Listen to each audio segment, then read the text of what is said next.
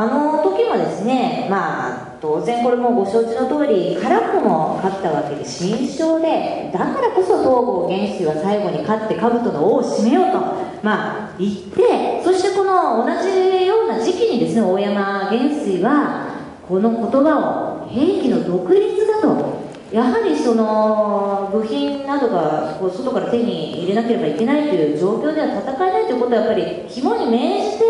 あの頃の方たちがその後国産をまあ施行して追求しても死に物狂いでやったんですね。ですからまあさっき申し上げたその日本製鋼所とかいう老舗会社もですねその頃できた会社です国策で。やはりえー、自国の兵器は自国で作るということがまあ大事なんでそこをですねかなり短い期間で、えー、成し遂げてあの先の大戦で、まあ、大和を作り武蔵を作り、まあ、ゼロ戦はやぶさなんていうものをまあ作り上げたわけですけどまだまだまあ、当然日本は資源がありませんから戦略物資あるいはその、えー、保養品というものをその輸入に頼るっていう部分もあったわけですね。でそうするとその飛び立てない航空機が駐機場に並んでいてそこをどんどん爆撃されるというところを過去の人たちはこう見てですね本当に悔しい辛い思いをして、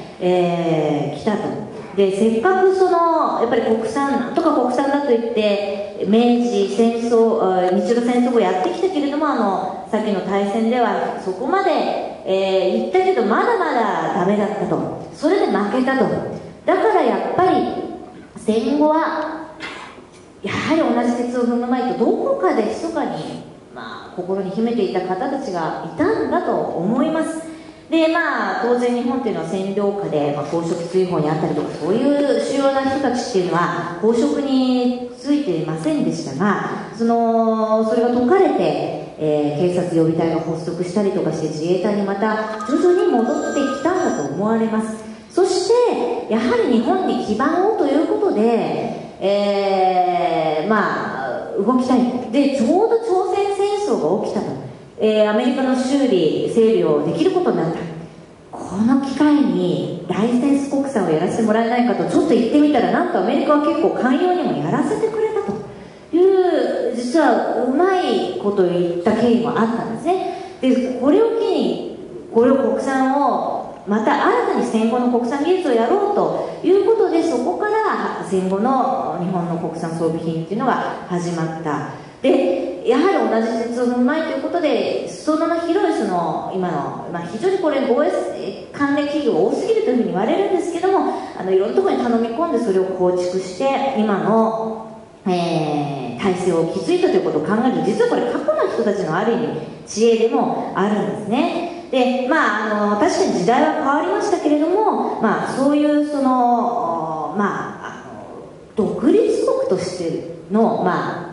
たしなみといいますか最低限の、まあえー、心得みたいなものを実はその敗戦国ではあるけれどもなんとか達成しようとして、まあ、うまいことやってきたのが今の体制だというふうにあの感じます。まあ、あのちなみにですねあまり国産ばっかり言うとあれなんですけど海外装備品のメリットっていうのは確かにあるんですよ。やはりあの最新鋭の装備をあの導入できるとかやはりあの相手国との外交関係にもなりますよとかこれ同盟国との共同運用性もあの、ね、担保できますよっていうやはり、えー、事情もありますのでそういう意味ではその陸海空と今一色たにちょっと今大雑把に話してますがこの各運用の事情によってはあの若干事情あの状況は違うということをちょっとご承知おきたいおいただきたいなというふうに思います。あのそういう意味では陸上自衛隊はもうあのかなり国産率を達成してきています。これもですねあの決してあのー